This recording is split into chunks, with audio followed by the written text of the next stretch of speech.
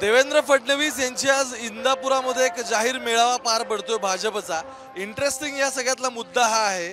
की बारामती लोकसभेला सुनेत्रा पवारांना जशी तिकीट त्यांचं जाहीर झालं तसं इथल्या हर्षवर्धन पाटलांनी विरोध केला होता. कारण हर्षवर्धन पाटलांनी स्वतःचं राजकारण संपवण्याचा प्रयत्न अजित पवार करतात असं कायम म्हटलेलं होतं.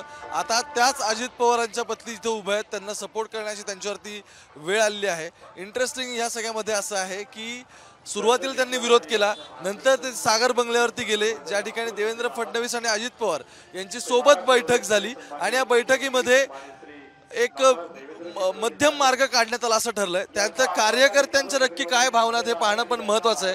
कारण नेते तर या सगळ्या प्रकरणामध्ये आता रेडी झालेत सहकार्य करायला.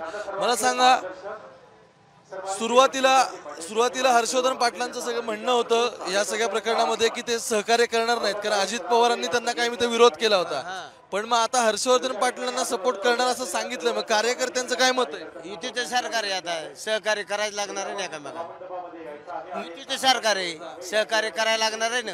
नाही पण गंमत अशी आहे की तालुक्याचं राजकारण आता गेले वीस वर्ष असं झालंय की दादांनी यांना हरवण्याचा प्रयत्न केला. मग आता बरोबर मस्त करू वाटत नाही पण ते आता केल्याशिवाय मार्ग नाही ना. आता पर्याय नाही राहिला का कार्यकर्ते? कार्यकर्त्यांकडे पर्याय नाही राहिला का? पर्याय पर्याय आहे की त्याला? पण अजून संभ्रमात आहेत लोक. लोक संभ्रमात आहेत. हो आहेत ना अजून. बाबा तुम्ही कुठून आलाय? डाळच. मला सांगा आता बरेच वर्ष तुम्ही भाजप सोबत आहात का? आता नवीन जॉईन झाला? नाही नाही आता ही जायचं अजून गेलो नाही. अजून भाजपात गेला नाही? गेलो नाही. मग आज देवेंद्र फडणवीसांसमोर जा. फडणवीसचं ऐकूनच नंतर भाजपमध्ये हे करायचे पण मग आता गणित असं आहे की आधी अजित पवार आणि हर्षवर्धन पाटील यांच्यामध्ये तर प्रॉब्लेम होते. त्यावेळी तर अं, सुप्रिया सुळेतून लढायच्या बरोबर? आता सुनेत्रा पवारांना सपोर्ट करायची वेळ आली मग कार्यकर्ते म्हणून तुम्ही नक्की कसं करणार आहे? नाही आमचे यांनी बस आम्हाला विधानसभेला ही जर म- दिलं हर्षवर्धनला ही दिलं ओके म्हणलं तर मग आम्ही क- म- मदत करू त्यांना. एक मुद्दा असा आहे. हर्षवर्धन पाटील म्हणतायत की ते सागर बंगल्यावरती फडणवीसांना भेटू आले तिथे त्यांची आणि दादांची जवळपास दोन अडीच तास चर्चा झाली. आता नेत्यांमध्ये कॉम्प्रोमाइज झाला असेल ठीक आहे. पण मग तुम्ही आता एवढ्या वर्ष पक्षाचं काम करताय तुमची भूमिका काय मग आता? आमचं मग तुमचं म्हणणं बरोबर आहे. पण आमचं म्हणणं बी आता अडकोळ्याचं जर राहिलंय ना आता थोडंसं बाबा सबर पण मग युती सरकार भाजपला मदत केली पाहिजे. पण ह्यांनी आम्हाला ताप दिलाय ना पहिला मग आता दत्ता मामाचं होतं समजा दत्ता मामाचा विषय असेल तर मग काय घेऊ नका. का हो काय झालं? आता मामाचा विषयच घेऊ नका तुम्ही. आमच्या त्यांचं जमत नाही अजिबात. मुद्दा हाच आहे की दत्ता मामा तर अजितदादांचे अजितदादांचे आमदार आहेत. त्यांनी त्यांना निवडून आणलं. आणि आता तुम्हाला अजित पवारांच्याच पत्नीसाठी काम करायचं. हसून निवडून आल्यात. हसून निवडून आल्यात ती. मग मुद्दा हा आहे परत की दत्ता मामा आणि अजित पवार हे तर सोबत आहेत बरोबर? आता भाजपने काय केलंय की अजितदादांना पण सोबत घेतलंय. मग तुम्ही कसं काय आता काम करणार? बरोबर आता अजून जर तर अजून लय लांब जायच्यात. बघू काय जावायचा वेळिंग आता सगळ्यांना म्हणतात युतीचा धर्म आहे. बरोबर सगळ्यांना म्हणतात मोदींना निवडून आणायचंय. पण मग कार्यकर्त्यांच्या भावना काय आहेत? त्यांचा विचार कोण करणार आहे? हो मी काय म्हणतोय नेते की आता नेत्यांचं तर झालंय बरोबर ठीक आहे? ते तर जाऊन भेटून आलं एकमेकांना. मोदींना निवडून आणायचं हे पण म्हणतायत. पण मुद्दा हा आहे की एवढ एवढ्या वर्ष आता प्रॉब्लेम आहे. आता कार्यकर्त्यांचं काहीतरी मनात खतखत असेल ना. होता कार्यकर्ता राग कसा होता? एवढं मोठं भाव मुख्यमंत्र्याच्या पदाला गे- चाललं होतं पण ह्यांनी पाय वाढला ना दोनदा तीनदा. हे अजितदादा हे तेव्हा तिथं ही सभा आहे ना आता. कशामुळं? मुख्यमंत्री लेवलचा माणूस होता तो इंदापूर तालुक्यातला. तर ह्यांनी पाय वाढला ना. मग आता हे कार्यकर्ते हे आहेत जर भाऊ काय म्हणलं करायचं तर करू ना आम्ही बी. नाही, मुद्दा असा आहे त्यांनी पाय ओढला हे तर तुम्ही मान्य करताय. मग आता त्यांच्याच पत्नीला पाठिंबा द्यायची वेळ आली की. पण आता पंतप्रधान कोण होणार नाही? जर आमच्या भाऊला साथ हा भाऊ सांगते तसंच होणार नाही भाऊ सांगते का नाही? तसंच होणार नाही ना. समर्थक म्हणून तुम्ही सगळे पाठीशी उभं राहणार हे तर स्वाभाविक आहे.